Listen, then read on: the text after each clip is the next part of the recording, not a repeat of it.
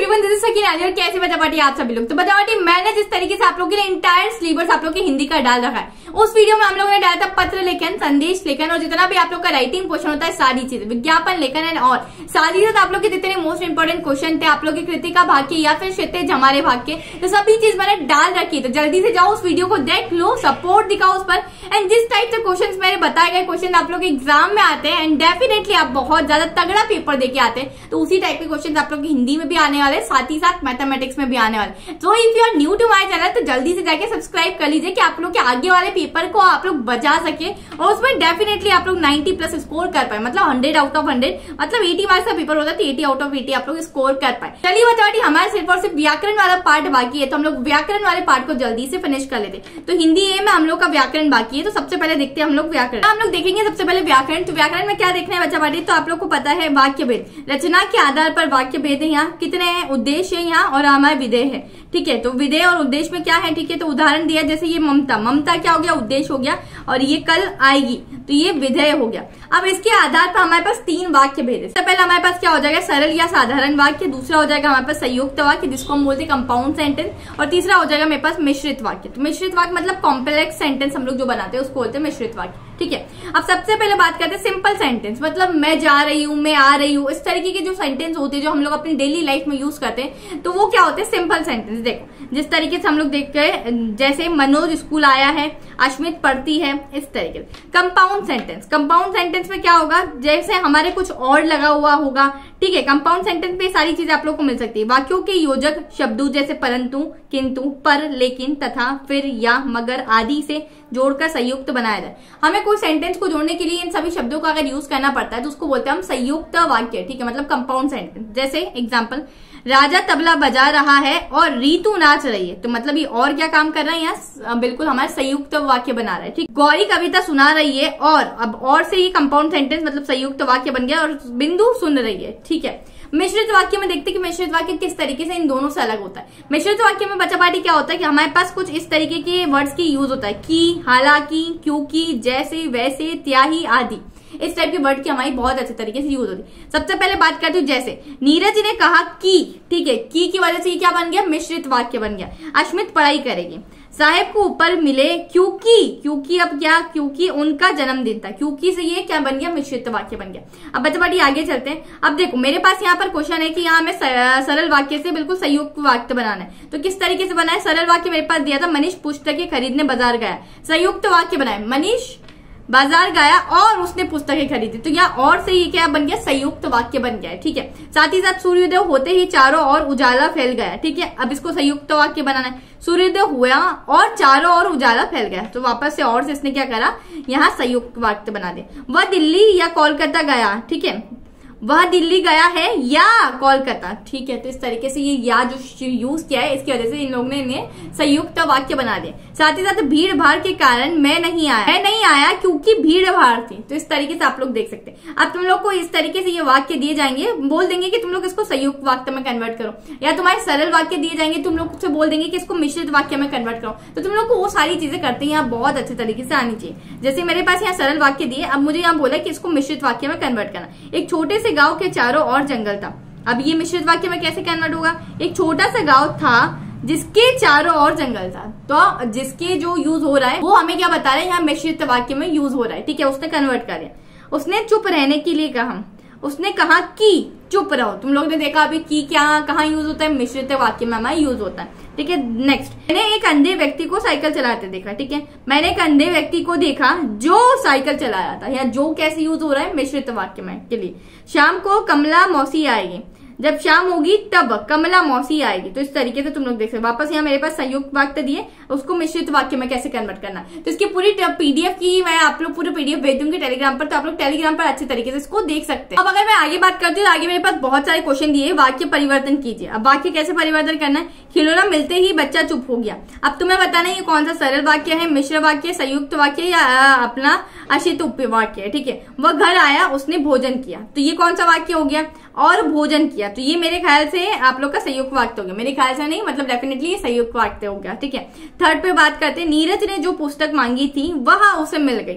ये कैसा वाक्य हो गया आप लोग का? अब ये आप लोग का कैसे संज्ञा उपवाक्य है, संयुक्त वाक्य है, मिश्र वाक्य है या फिर सरल वाक्य है तो आप लोग को बताना है। इस तरीके से ये बहुत सारे क्वेश्चन है। देखो, ये सारे क्वेश्चन वैसे है जो सीबीएसई में ऑलरेडी रिपीटेड टाइम्स पूछे गए तो इनको थोड़ी प्रिपरेशन ज़्यादा अच्छे तरीके से करना देखो, ये टू थाउज़ेंड नाइनटीन देखो जो व्यक्ति परिश्रमी होता है, वह अवश्य सफल होता है, ठीक है? सरल वाक्य में बदलिए।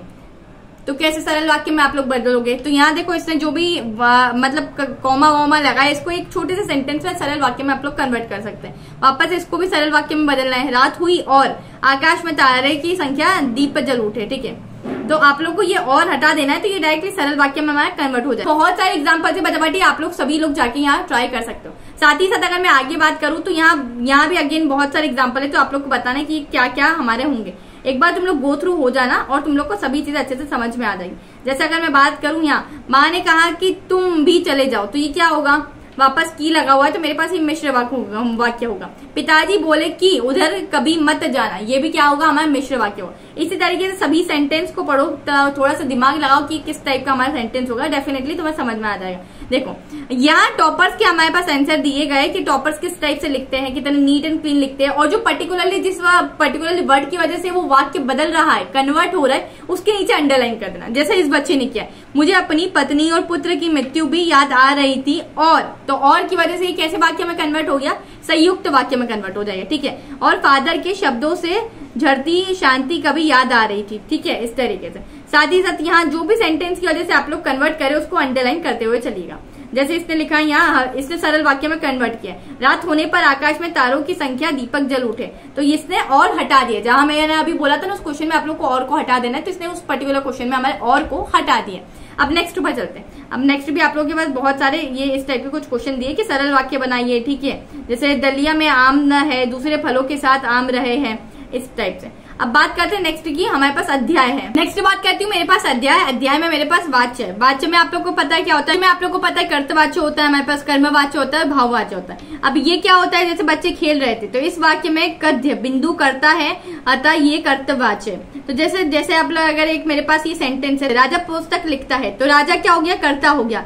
पुस्तक, ये कर्म हो गई और लिखता। जो भी कुछ मूवमेंट हम करें लिख रहे खा रहे पी रहे तो ये क्या हो गई? ये मेरी मूवमेंट होती थी, इसको हम बोलते हैं, ये क्रिया हो चुकी है, ठीक है? साथ ही साथ अगर कर्मवाच्य की बात करो तो जैसे नीरज से दूध नहीं पिया जा रहा है तो कर्ता से, ठीक है, दवाई दे दी गई है तो कर्ता का लोभ। इस टाइप से तुम लोग को समझ अब भाववाचक की बात करते हो। तो भाववाचक कैसे समझ में आएगा आप लोग को? आप लोग को जैसे समझ में आएगा कि मरीज़ से उठा नहीं गया। तो ये भाव हम लोग दर्शा रहे क्या कर रहे भाव को दर्शा रहे कि मरीज़ से उठा नहीं गया। तो इसमें हम लोग को मरीज़ का पता चला कि भैया वो ज़्यादा बीमार है, उससे उठा नहीं जा रहा है। हम लोग भाव एक प्रदर्शन करे उससे खाया नहीं जाता। तो ये भी क्या भाव हम लोग प्रदर्शन एक तरीके से यहाँ कर रहे हैं। नेक्स्ट पर अगर मैं बात करूँ तो यहाँ तुम लोग को पता है कि तुम्हारे पास कर्तवाच्य दिए अब उसको तुम्हें कर्मवाच्य में कन्वर्ट करना तो कर्तवाच्य राम रोटी खाता है, ठीक है? कर्मवाच्य में अगर कन्वर्ट करूँ तो राम के द्वारा रोटी खाई जाती है। तो इस तरीके से तुम कर्मवाच्य में उसको कन्वर्ट करो। वापस से, हमारे पास रीतु स्वेटर बुनती है। रीतु के द्वारा स्वेटर बुना जाता है, ठीक है? अगर इसको भाववाच्य में कन्वर्ट करना हो तो अब देखो, मेरे पास रमेश नहीं पढ़ता रमेश से पढ़ा नहीं जाता। ये हमारे भाववाच्य में कन्वर्ट हो गया, ठीक है? अब वह अपनी घर नहीं जाएगी। उससे अपने घर नहीं जाया जाता। तो इस तरीके से तुम भाववाच्य में उसको कन्वर्ट कर सकते हो। अब तुम्हारे पास यहाँ बहुत सारे क्वेश्चन है, जिससे तुम लोग को बताना है कि पर्टिकुलर सेंटेंस क्या दर्शा रहा है। भाववाच्य कर्तवाच्य कर्मवाच्य ये बताना है। दादाजी के द्वारा हम सबको पुस्तक दी जाएगी, दी गई, ठीक है? तो ये कर्तवाच्य भाववाच्य कर्मवाच्य ये बताना अगर बच्चा वाली तुम लोगों को इनके आंसर चाहिए तो let me know comment section में इनके आंसर भी आप लोग को बिल्कुल प्रोवाइड करवा दूँगी। अब यहाँ वैसे ही सारे है कि इसमें बताओ कि तुम लोग को कन्वर्ट करना है, ठीक है? जैसे बच्चा सांस नहीं ले पा रहा था। तो ये भाववाच्य, ठीक है? तो उसमें कन्वर्ट आप लोगों को करके बताना है। तो इस तरीके से तुम लोग बता सकते हैं। देखो निर्देश अनुसार वाक्य परिवर्तन कीजिए। तो ये जो पर्टिकुलर जो सेंटेंस लिखा है उसको इस वाले हमारे भाव में कन्वर्ट करना है। तो तुम लोग एक बार खुद से करके देखना। अगर तुमसे नहीं होता है तो लेट मी नो सेक्शन में। सभी के आप लोग को आंसर यहाँ प्रोवाइड करवा दूँगी टेलीग्राम पर। चलो। साथ ही साथ अध्याय पद परिचय। पद परिचय में आप लोग को पता है संज्ञा के भेद, ठीक है? व्यक्तिवाचक संख्या, जातिवाचक संख्या और भाववाचक संख्या। व्यक्तिवाचक संख्या कैसे पता चलती है कि कोई पर्टिकुलर सेंटेंस में व्यक्तिवाचक संख्या है? चलिए, सबसे पहले बताती हूँ। तो व्यक्तिवाचक संख्या, उसको समझने के लिए हम लोग को ये समझना पड़ेगा, विशेष व्यक्ति। जैसे महात्मा गांधी, राम आदि, ये विशेष पर्टिकुलर कोई फ़ेमस पर्सन होता है ना, विशेष, ठीक है? साथ ही साथ प्राणियों के नाम, जैसे कामधुन मतलब गाय, एरावत मतलब हाथी, ठीक है? स्थान के नाम, दिल्ली, कोलकाता आदि ग्रंथ व नदियों के नाम तो आप लोग देख सकते हैं गुरु ग्रंथ साहेब, नर्मदा सब ये सारी चीज़ें लिख सकते हैं। अब जातिवाचक जाति या समुदाय के बोध हो, मनुष्य, नर, मादा, जानवर पवंत नदिया, शहर, देश, परिवार, कक्षा, महासागर आदि।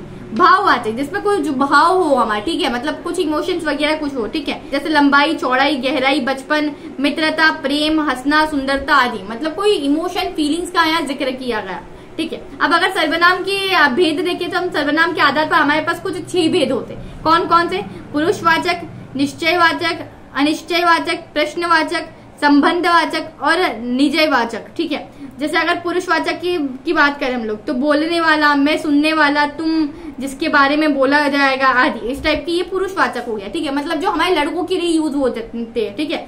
अब निश्चयवाचक निश्चयवाचक में मतलब निश्चय रूप से शब्दों का प्रयोग, यह, वह, ये, वो, आदि, ठीक है? अनिश्चयवाचक मतलब कुछ, कोई अनिश्चय, ठीक है? प्रश्नवाचक मतलब प्रश्न पूछे कौन, किसने, कहा, कब, इस टाइप से, ठीक है?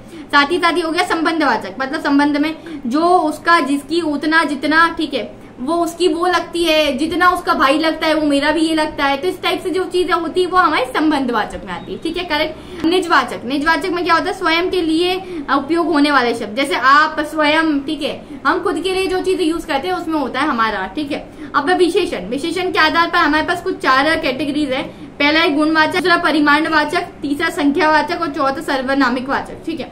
जैसे अगर गुणवाचक की बात करती हूँ तो संज्ञा व सर्वनाम को गुण, दोष, आकार, रंग, स्वभाव आदि का बोध। जैसे कि अगर एग्ज़ाम्पल की बात करें तो ईमानदार कायर ठीक है, लाल, पुराना। तो ये क्या है? गुण बता रहा है कि इंटेलिजेंट फूल तो इस तरीके, जैसे ये इंग्लिश वर्ड है, पर हमें अगर हिंदी में बात करो तो मूर्खम, ईमानदार, सुंदरता, ठीक है? तो ये क्या है? गुण। सुंदरता इज़ नॉट अ गुण। ठीक है, पर मेहनती तो ये सारे गुण होते हैं, ठीक है। अब आप परिमाण वाचक तो परिमाण वाचक में देख बात करें, चार किलो, पाँच किलो, थोड़ा कम, इस टाइप का। संख्या वाचक मतलब सात दिन, एक दर्जन, कई कुछ, ठीक है, संख्या मतलब नंबर्स ठीक है। अब सर्वनामिक विशेषण तो यह कमल, वह, लड़के, आदि, इस टाइप के जो भी वर्ड्स होते हैं, हमारे ये इस कैटेगरी में आएँगे। अब ये तुम लोग को याद रखना है, इसीलिए कुछ चार्ट्स के तौर पे लाए तुम लोग को बहुत डेफिनेटली बहुत अच्छे तरीके से याद होता है। तुम लोग अपने छोटा सा कहीं नोट्स पर लिख लो कि इसका ये होता है, या फिर तुम ये है ही ना, क्यों इतनी मेहनत कर रहे हो? ठीक है। साथ ही साथ बच्चा बाटी इसके भी अब तुम्हारे पास क्वेश्चन दिए जाएँगे, नीचे अगर बात करें, जैसे क्रिया की भेद तो क्रिया के भेद में आप लोग के पास होता है, अक्रमक क्रिया और सक्रमक क्रिया। तो ठीक है, जैसे बच्चा हंस रहा है, मोहन खाना खा रहा है ठीक है तो अब ये सारी चीज़ देख सकते हैं। अब क्रिया विशेषण की भेद तो क्रिया विशेषण की मेरे पास चार भेद होता है। कालवाचक, रीतिवाचक, स्थानवाचक और परिमाणवाचक, ठीक है?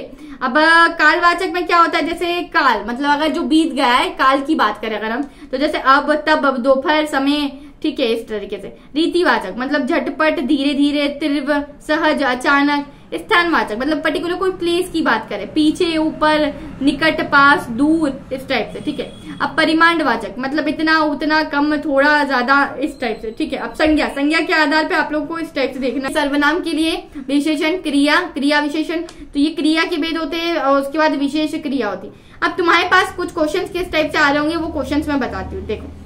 निम्नलिखित वाक्यों में रेखांतित पद को पद परिचय दीजिए। पद परिचय मतलब जो अभी हम सब चीज़ पढ़ के ठीक है, कि किस तरीके से विशेषण के भेद होते हैं और सारी चीज़ों के, ठीक है। सुरभि विद्यालय में अभी अभी आई है तो ये क्या लग रहा है कि क्या होगा आप लोग? कौन सा पद परिचय इसमें यूज़ हो रहा है? साथ ही साथ वह मेरी बातें ध्यान पूर्वक सुनी है ठीक है, ये सभी वो क्वेश्चन है जो सीबीएसई ऑलरेडी e पूछ चुका है। शाबाश, तुमने बहुत अच्छा काम किया। वह दस छात्र बैठे हैं। परिश्रम के बिना सफलता नहीं मिलती। दादी जी प्रतिदिन समाचार पत्र पढ़ती है। रोहन यहाँ नहीं आया था। वो मुंबई जा चुके हैं। परिश्रमी अंकिता अपना काम समय से पूरा कर लेती है। रवि रोज सवेरा दौड़ता है। अपने गाँव की मिट्टी छूने के लिए मैं तरस गया।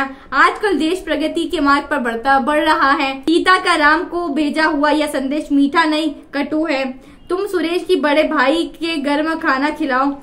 ठीक है, कब्रिस्तान की भूमि को लेकर छोटे मोटे तनाव होते रहते हैं। तो इस टाइप से सारे और इसके आंसर यहाँ देखो पीछे दिए हुए। जैसे ये रवि वाला क्वेश्चन था तो इसमें कौन सा हुआ? रवि रोज सवेरे दौड़ता है तो इसमें क्या था हमारे? व्यक्तिवाचक संख्या थी, एक वचन था, पुल्लिंग था, ये सारी चीज़। अब गाँव वाले में संध्या पथ है संबंध कारक जातिवाचक संख्या थी और एक वचन था। मिट्टी। मिट्टी में क्या था? मिट्टी हमारी क्या बता रही है? एक तो कर्म कारक बता रही है संज्ञा पद है, ठीक है, और जातिवाचक संख्या। तो इस टाइप से तुम लोग को समझ में आ जाएगा कि क्या क्या। तो एक बार तुम लोग पहले खुद से सॉल्व करने की कोशिश करना, उसके बाद तुम लोग आंसर्स की तरफ़ जाना। तो यहाँ मेरे पास अब लास्ट आते हैं हमारे अलंकार। तो अलंकार तुम लोग को पता है, शब्द अलंकार क्या होता है, उसके बाद श्लेष अलंकार होता है। शब्द अलंकार क्या मतलब? जिसमें शब्दों का यूज़ हो, शब्दों का वर्णन हो।